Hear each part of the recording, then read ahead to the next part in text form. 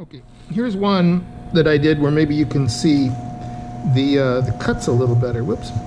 So this is the Estamino and this is the uh, striped German. Ah.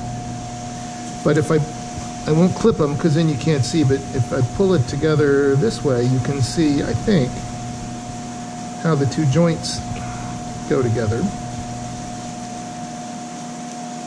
Right, like that. And then when that is clipped, uh, that's probably a pretty good joint. That'll work. Uh, and then, again, give it time. So if I hold that like that, and then clip it, get a clip.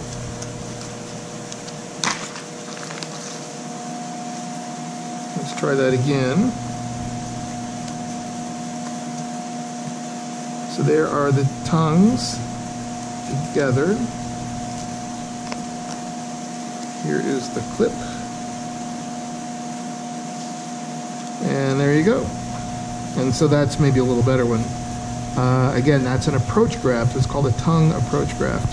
Um, and it allows you to graft things that maybe are kind of tough to graft, uh, but it also is a little more forgiving because both root, both root systems, uh, at least initially, are still uh, functional.